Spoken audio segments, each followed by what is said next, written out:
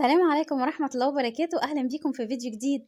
هنعمل مع بعض المقرمشات السورية أو البرازق السورية المقرمشة اللذيذة جدا دي. بجد من أروع الحاجات اللي أنا جربتها. أتمنى إنها تنال إعجابكم. مكوناتها كلها بسيطة وموجودة عندك. يلا اعملي like للفيديو واشتراك و share. وما تنسيش تفعلي زر الجرس عشان يوصلك كل جديد. بسم الله الرحمن الرحيم. كوبايتين من الدقيق.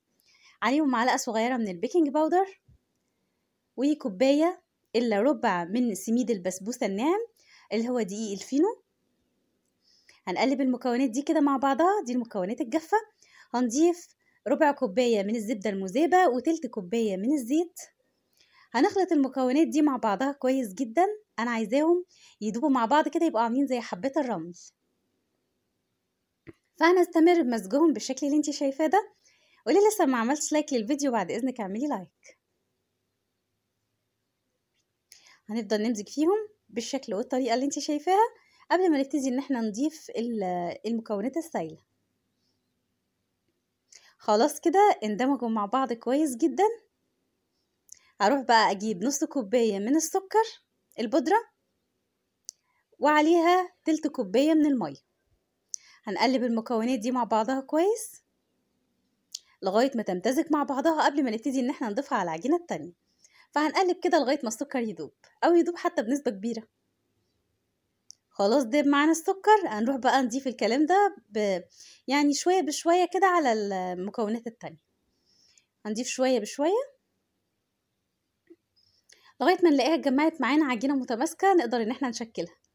وطبعا إحنا مش بنعجن لأن دي مش مخبوزات. يعني دي أقرب للبسكتس يعني مش مش مخبوزات خالص.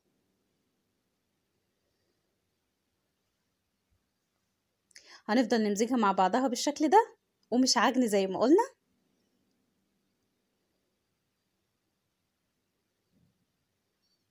خلاص كده اتجمعت معانا العجينة وبقت جاهزة وبقى معايا معلقة من المية بسكر دي.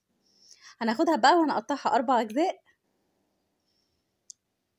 وكل جزء هناخده بقى نقسمه لقطع كتير خالص.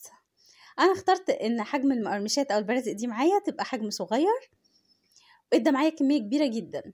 يعني كمية حلوة خالص من كوبايتين الدقيق دول. أنا قطعتها بالحجم ده. بصي دي قطعة واحدة من الأربعة. ادتني قطع كتير إزاي؟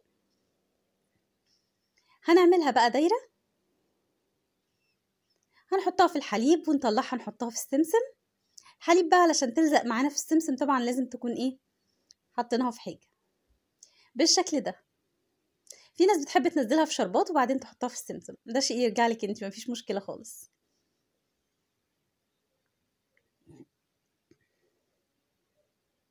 هنعمل كل كمية بالشكل ده وهنحطهم في صينية مدهونة. دهنة من الزيت.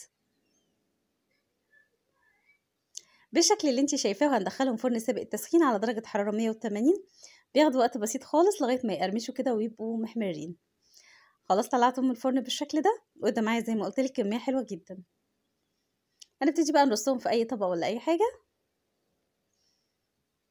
يعني هو عمل معايا صينيتين كبار. اللي لسه ما عملش like بعد إذنك اعملي لايك للفيديو. واللي مش مفعل الجرس فعلي الجرس عشان يوصلك كل الفيديوهات الجديدة.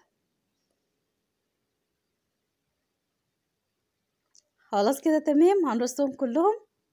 ويبقى ده الشكل النهائي ليهم. لذيذ جدا جدا. أنا متأكدة إن هو هيعجبك. ولو ما جربتيهوش قبل كده لازم تجربيه لأن بجد هتدعي لي كده جنب كوباية شاي ولا كوباية نسكافيه حاجة كده تحفة جدا ومختلفة. اتمنى الفيديو يكون لأعجابكم. بصي مقرمشة إزاي؟ السلام عليكم ورحمة الله وبركاته.